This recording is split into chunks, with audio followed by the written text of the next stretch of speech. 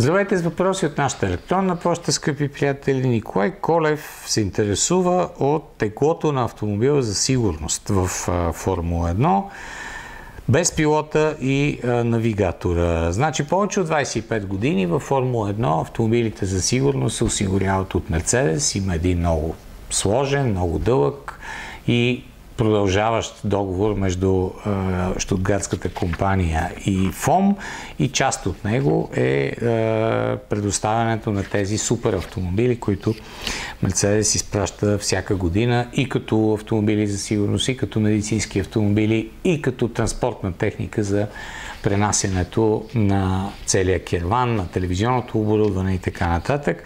В настоящия момент автомобил, който се използва за водене на колоната тогава, когато това се налага, е AMG GTR, като теглото е намалено в сравнение с автомобила, който стандартно се продава, макар че стандартно за такъв автомобил е малко трудно да, да бъде м- така, точно казано. Теглото на колата на сейфти кара е малко над 1200 кг, няма абсолютно точна дефиниция. Около 400 кг или 350 кг е по-лек автомобил от този, който човек би могъл да си, да си поръча.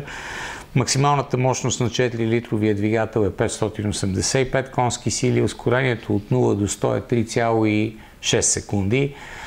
Колата е много динамична. Знаете, Берт Майлендър е основният пилот на този автомобил. Много, много важна роля има той в голяма част от състезанията.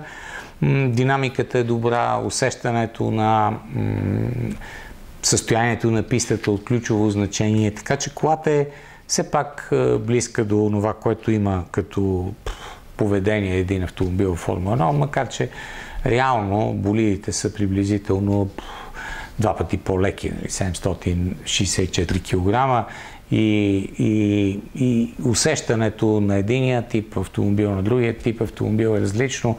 Те не сменят гуми върху сейфти кара и, и по този начин все пак се вижда с неговото преминаване най-вече количеството вода, примерно, върху, върху пистата. Иначе динам, динамиката му е отлична, но, но е далеч от това, което има формулата, защото пък, примерно, формулата има ускорение от 0 до 100 около 2 секунди.